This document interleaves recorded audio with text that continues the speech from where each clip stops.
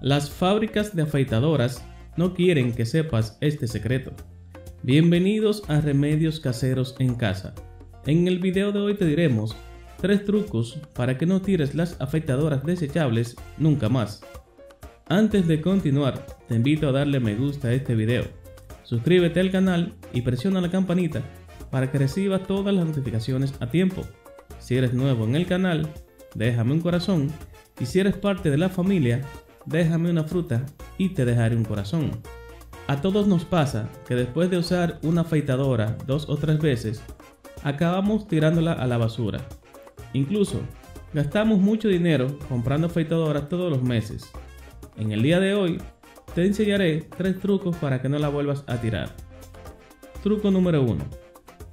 Usando un pantalón, jean, frota la afeitadora contrarias a las cuchillas por 30 segundos.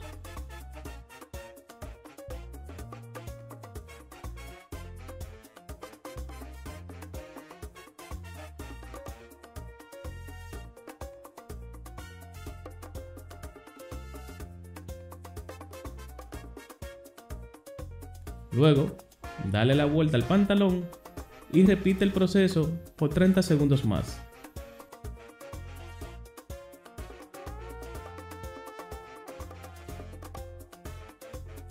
Cuando termines, prueba la afeitadora en tu cuerpo y verás que está muy felosa y la puedes volver a usar de nuevo.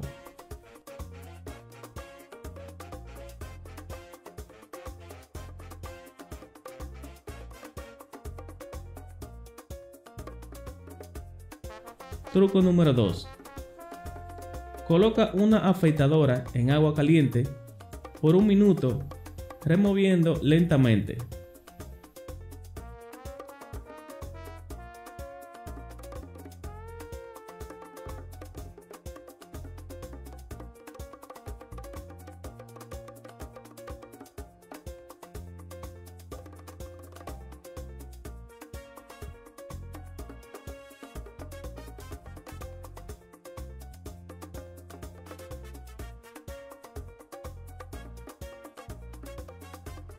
Una vez pase el minuto, saca la afeitadora y prueba afeitándote y verás que está muy filosa y funciona de nuevo.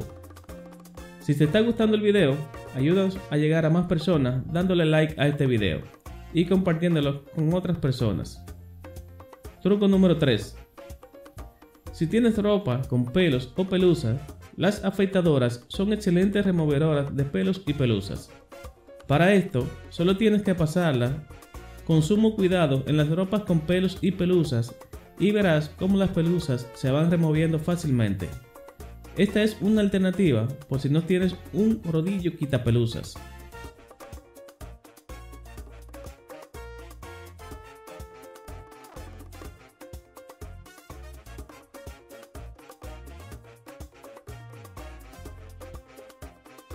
Si conoces otro truco con las afeitadoras, déjamelo saber en los comentarios.